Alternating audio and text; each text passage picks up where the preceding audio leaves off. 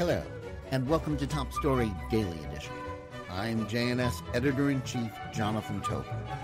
Thanks for joining me for another discussion on the most pressing issues in the Jewish world. Please like, subscribe, and give us good reviews when you listen to the show. Now let's get started.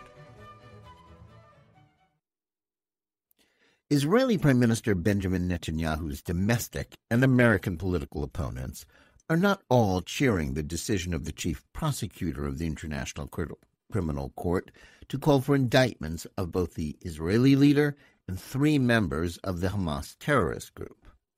While Israel haters and anti Semites everywhere are savoring the fantasy of Netanyahu and Defense Minister Yoav Gallant being put on trial at The Hague for war crimes against the Palestinians, this deeply cynical and immoral move has had some short term unintended consequences.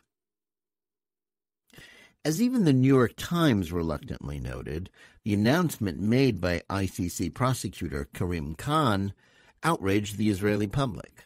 The argument that Israel is no better than the barbaric terrorists of Hamas is amoral, as well as rooted in the kind of double standards that is indistinguishable from anti Semitism treating the measured actions of the country that was attacked and whose citizens were subjected to unspeakable atrocities by a genocidal terrorist movement as the moral equivalent of those very terrorists is itself an act of outrageous prejudice and injustice.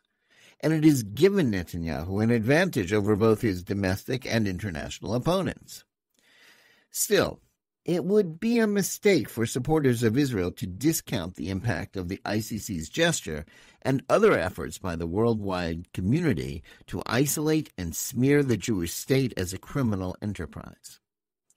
The growing tally of moves designed to make it difficult or impossible for Israel to engage in commerce or conduct regular diplomatic activity or for its scholars to participate in academic exchanges, or even for entertainment entertainers to appear abroad, such as the campaign to try to force Eurovision contestant Eden Golan out of the recent singing competition, isn't merely discouraging and unfair. It's all part of a process by which prejudicial stands against Israel and Jews became normalized and then grow to be a matter of consensus among supposedly enlightened classes. The next step is international sanctions that could do far more serious harm. Israelis have always tended to ignore or dismiss such concerns. Part of that attitude stems from a belief that the spirit of Zionism, a philosophy of Jewish self determination, should impel Jews to focus on the project of rebuilding their homeland and its defense, and not what non Jews think about it. David Ben Gurion, Israel's first prime minister, summed up that attitude by famously disregarding the fulminations of the United Nations by using the Hebrew acronym for it, Um Shmum. This attitude has also led to Israel paying less attention to the need to acknowledge and return fire in the information war that Israel haters have been waging for decades. But the campaign to isolate Israel is about more than the Jewish state getting a bad image. In the seven months since October 7th, the belief that Israel is an evil white oppressor state isn't merely a hateful myth believed by ignorant college students.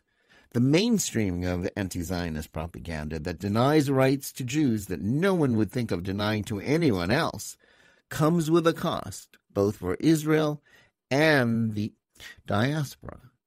The United Nations may be a talking shop, but the growing belief in growing global discourse that support for the Jewish state is a form of racism that can't be tolerated is clearly beginning to unravel the enormous strides the Jewish state has made in the last decade to normalize relations with the Muslim and Arab worlds, as well as to place it in the first rank of developed economies. Simply put, the talk of indictments is merely the first part of a campaign whose aim is to do to Israel what the international community did to apartheid era South Africa. That means a move towards real sanctions that would impact Israel's economy.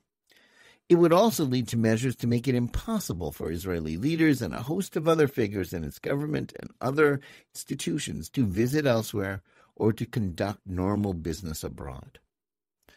Israel and its friends can indeed point out the myriad differences between Israel and the apartheid regime. Israel isn't a country where a minority rules over a majority, but a democracy with a large Jewish minority majority that constitutes the indigenous people of their ancient homeland. Yet in a world in which woke myths about Jews in Israel being racist white oppressors of people of color are increasingly accepted, the facts don't seem to matter. A world in which anti Semitism is being revived by a bizarre red green alliance of leftist ideologues and Islamists is increasingly a place where lies about Israel are not only believed, but treated as a justification for actions that can do real damage to the Jewish state. Institutions like the United Nations, its Human Rights Council, and the ICC may be objects of scorn for most Americans and Israelis. But to the rest of the world, they are widely respected, in, as if they stood still stood for the idealistic values that motivated their founders to believe that their creation would ensure that the world would never again descend into the barbarism of a world war.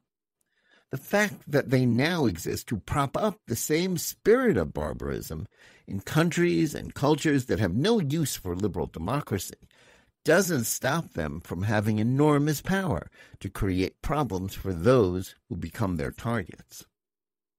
While some in Israel long believed that a willingness to give up territory and embrace a Palestinian state would make Israel loved around the world, the state of affairs since October 7th is a reminder that hatred for Israel isn't about its action so much as its existence. The movement to boycott Israel with BDS measures hasn't done much damage to its economy to date. However, the shocking support for Hamas and con- condemnations of Jerusalem's efforts to eradicate a movement dedicated to Jewish genocide demonstrates just how much impact the efforts of the boycotters have had on opinion across the world. Still, the short term impact of the ICC announcement not only undermined the anti Netanyahu protest movement inside Israel, but forced the Biden administration to ship if shift its tone of harsh and deeply unfair criticism of the Israel Defense Forces' conduct of the war. Even President Joe Biden found himself forced to say that Israel was not guilty of genocide. And it gave a boost to the efforts of House Speaker Mike Johnson to pressure Democrats to join him in inviting Netanyahu to address a joint meeting of Congress, thus providing him with an opportunity to make Israel's case to the American public without the filter of often hostile news media.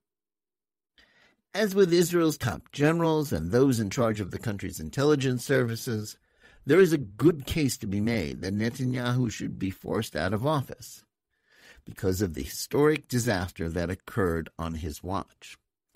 That may well happen after the war is concluded, but the bulk of Israel's journalistic, legal, academic, business, and security establishments have been seeking to topple Netanyahu's government almost from the moment he won last, the last Knesset election in November 2022. Up until October 7th, their focus was on thwarting the Likud party led effort to reform Israel's out of control judiciary. After a few months of unity, after after the Hamas massacres in southern Israel, the opposition resumed its push to unseat Netanyahu by blaming him for the plight of the hostages still being held captive in Gaza and the war continuing to drag on. But nothing is more likely to bolster support for Netanyahu than outside pressure from the United States or the international community, which have long been demonizing him for positions or actions supported by most Israelis. That was a lesson that former President Barack Obama never seemed to learn during his eight years in office. The pressure from Obama to force Israel to return to the 1967 borders and to divide Jerusalem to create a Palestinian state that the Palestinians have consistently refused to accept actually hasn't helped Netanyahu. repeatedly win re-election.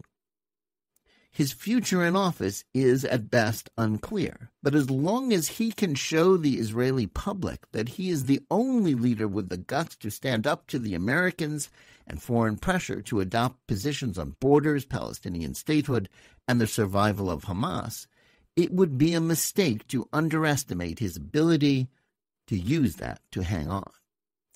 It is also true that the ICC arguably has no real jurisdiction over Israel, and that many countries, including the United States, will not recognize its authorities.